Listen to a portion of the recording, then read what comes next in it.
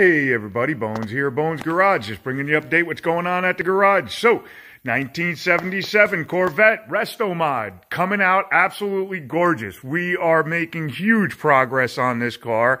Um, one of the things that just came back from the Jet-Hot people are the headers, and look at how beautiful those headers look. They are all nice, clean, shiny. They just look absolutely beautiful. And then there's the rest of the exhaust system right there. There's our two mid pipes. Uh, well, there's, yeah, this one and this one are the head pipes, mid pipes, and then the two mufflers are right there. So there you go. Look at that is just absolutely gorgeous. Look at how beautiful these things came out. And, you know, they will keep this shine for life. They are a lifetime warranty on these. Um, so I can't wait to put them in, see how they turn out, and see what goes on.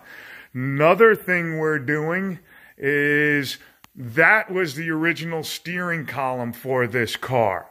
As you can see, it's just your normal steering column. There is nothing on it. It is, it has the high beam switch here, along with the windshield wiper switch and the turn signal switch. It's all on the stalk.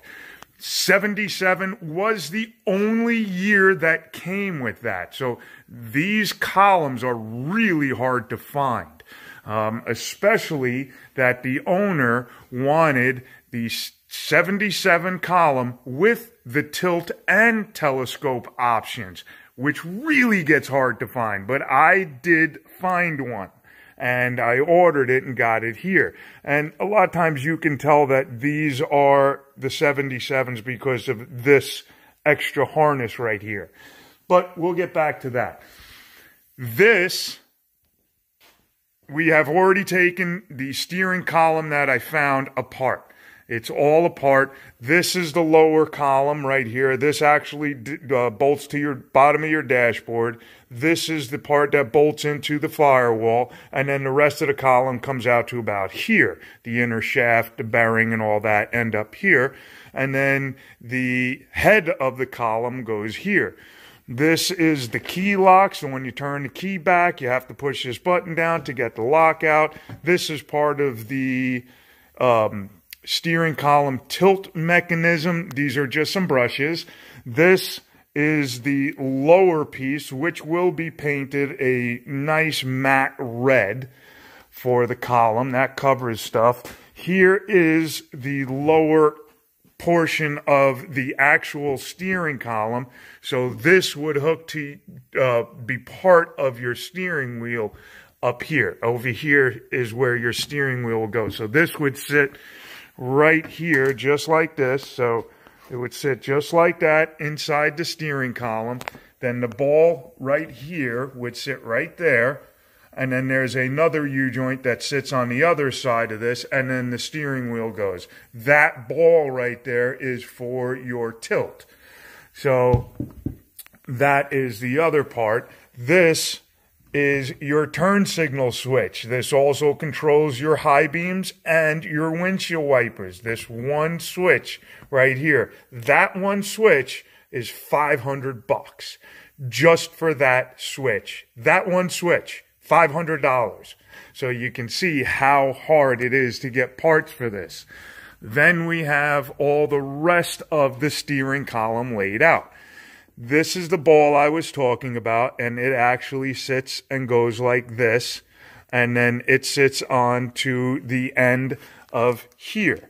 So that wraps into there like that, and then that connects to that shaft that's all the way over there. And that's how you get your tilt.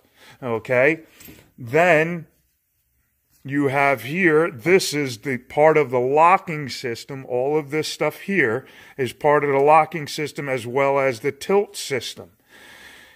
When you want to telescope the wheel, this is what actually lets you move it and lock it. This is the gear that works to it. These are the pivots for your um, for your tilt.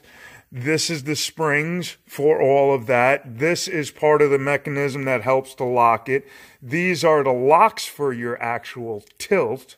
And then there's the rest of the steering column parts. This is the end for, this is where the steering wheel actually goes onto. This is the nut that holds it down and that goes in. This is part of the steering column. This is where all the mechanisms go for your tilt and your telescope. This here is where your turn signals are going to be set in. Here is your actual another part of a steering column that has your turn signal. There's one of those $500 switches in there. And then here is your horn, uh, turn signals. That's part of for your horn. This is part for your turn signals. That's the switch to actually turn on the high beams. As you pull your stalk, it will push this button. You hear a click with a rod. There's a rod that goes down the shaft to push that button. Here's some more of this is for your horn. This is the actual steering wheel lock. So when you turn the key, you can't turn the steering wheel. This is the uh, retainer spring for your steering wheel or the cushioning spring for your steering wheel. This is also part of your turn signal stuff. As you can see, the nylon has gotten so old. It's like a Bakelite. It's gotten so old that it has just cracked and disintegrated. We're going to be replacing a lot of this. This is where your steering wheel mounts onto the column, and this is where your steering wheel actually mounts with your horn. Then we have this piece right here. You turn this this way, it unlocks the telescope. You turn it back this way, and it allows the steering wheel to telescope. So there's a bunch of the pieces. This is part of the steering column. This is what your steering wheel actually will attach to. There's the bolts that actually hold the steering wheel. There's part of the horn right there. Then you have your upper bearings and your bearing cup. Those are the ones that go right behind the steering wheel. Then you have here your lower bearing and bearing uh, inner bearing race. We'll be replacing all of these bearings, cleaning the cup up, cleaning the retainer spring, and getting everything back together. And there's the original steering wheel. So there you go. There's a bunch of the stuff for your steering column with a tilt telescope steering column and for your high beams, windshield washer stuff, turn signals. Um, actually, this is for your cruise control. Sorry, that's the cruise control button, and that's the uh, pull to to initiate or lock in your tilt. This is your turn signal. It goes in like this. You go up and down for your turn signals. You turn back and forth for your windshield wipers, and uh, you push it inwards for your wash for your windshield wipers. So the pissers worked. So there you go. There's how it all happens. it is a lot of stuff in there. It is extremely complicated and extremely fragile. And you have to be very careful taking these apart and then putting them back together. The reason we took it all apart is because we're going to rebuild everything, make it all like brand new.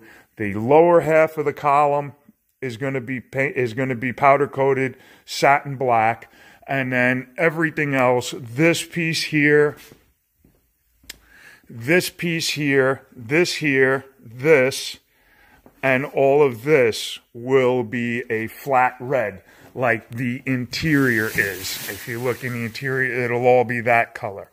So there you go, guys. A lot getting done, a lot getting finished. Car's going to look beautiful. Really can't wait to get this all done. Oh, and if you look down in that little corner right there, there is our vacuum tank. We had to put a vacuum pump in this car. The vacuum pump is actually located right behind and above the rear wheel, inside the well, way up over here on the right side, passenger side.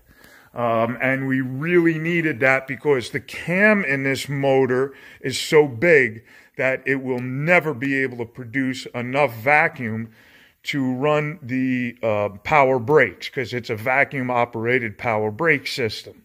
So we need lots of vacuum for that. Then we also have the vacuum doors for the headlights that have to be operated. So we needed all that. So there you go. I will talk to you real soon. Keep you up to date as we go. Have fun. Okay, bye.